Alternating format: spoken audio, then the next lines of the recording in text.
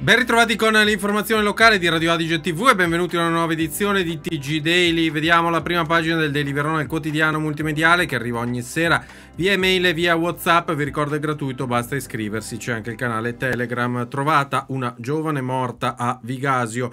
È tutto da chiarire il mistero sul ritrovamento del corpo di una 26enne nelle acque del fiume Tartaro a Vigasio. Non ci sono segni di violenza, ma non aveva acqua nei polmoni. Sembrerebbe eh, da eh, escludere il gesto volontario. Allora vediamo l'articolo sul sito deliverona.it, ritrovamento shock a Vigasio nel Tartaro, è stato eh, recuperato il corpo di una giovane donna le cui circostanze della morte sono da chiarire. Eh, I carabinieri hanno identificata in breve tempo, si tratta di una 26enne originaria di Mantova. Secondo le informazioni fin qui note, nei suoi polmoni non è stata trovata acqua, per cui non si sarebbe gettata volontariamente eh, nel fiume. Tutte le ipotesi investigative sono al momento al vaglio degli investigatori. I carabinieri stanno cercando di ricostruire le ultime ore della ragazza. Sul corpo non sono stati rilevati segni di violenza fisica, ma è stato trovato completamente senza vestiti. Il ritrovamento è avvenuto nel, in un punto in cui è stato eh, bloccato il corpo dalle griglie del canale.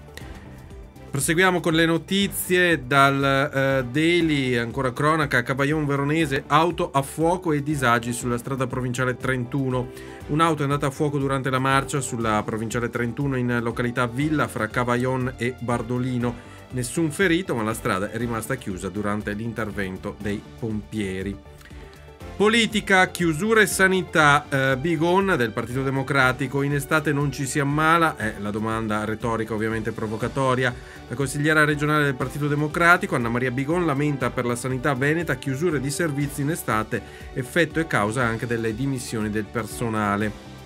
E sul fronte di Forza Italia invece c'è eh, la scelta di Flavio Tosi di ehm, andare al Parlamento europeo liberando un posto eh, a Montecitorio, la Camera dei Deputati, per l'ex sindaca di Bussolengo eh, Paola Boscaini, una mossa in particolare eh, che eh, riguarda anche la politica locale perché eh, lo sappiamo, Tosi non lo ha nascosto, punta alle regionali del 2025 e o al comunali di Verona del 2027 come eh, candidato di punta o comunque come eh, coordinatore regionale di Forza Italia e quindi è una mossa che eh, guarda appunto a Bruxelles, a Roma ma anche e soprattutto forse al territorio eh, locale veronese.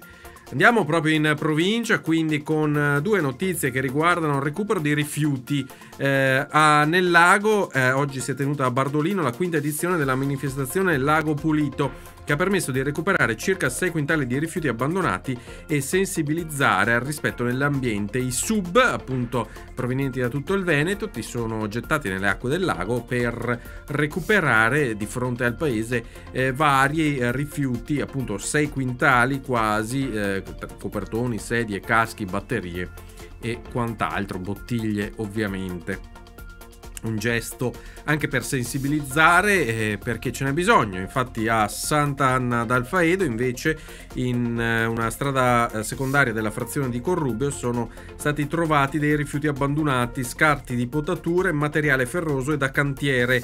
Eh, si cercano i responsabili anche con le telecamere, l'amministrazione comunale chiede di eh, segnalare chi sapesse qualcosa e eh, dice eh, rimaniamo vigili contro l'inciviltà. Questo è il messaggio del comune di Sant'Anna. Minerbe, il Real Minerbe eh, deve eh, piange il eh, dirigente Simone Castiglioni, il funerale sarà domani a eh, Bonavigo, domani mattina alle 10 a Bonavigo, lunedì appunto eh, l'uomo era ehm, eh, rimasto in ospedale diversi giorni dopo un malore, un infarto eh, avvenuto qualche giorno fa appunto e purtroppo è deceduto e domani si terranno i funerali.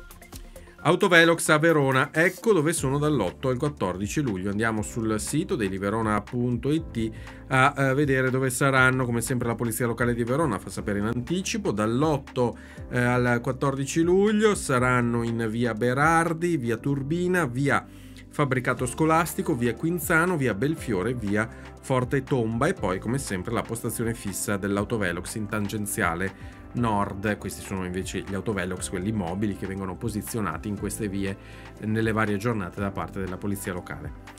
A Verona arriva MetaFood, l'evento alla scoperta dei supermercati di domani.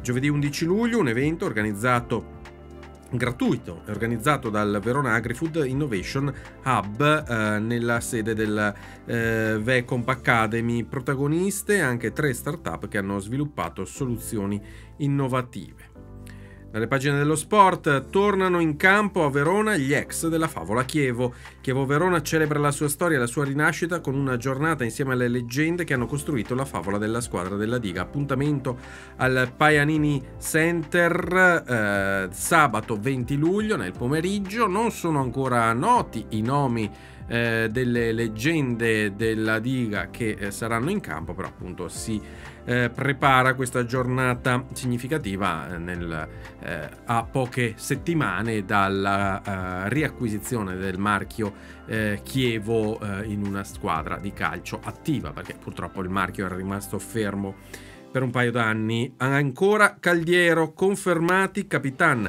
Zerbato e Baldani, due pezzi da 90 della squadra che ha conquistato la promozione in Serie D e ora in Serie C, restano il calcio Caldiero, Terme, Lorenzo eh, Zerbato e Nicolò Baldani, ancora giallo-verdi. E sempre in Serie C, eh, sponda Legnago per l'attacco eh, arriva Alessandro Rossi, attaccante classe 97, è stato il capitano della primavera della Lazio e negli ultimi anni è andato in prestito a varie formazioni fra A, B e C.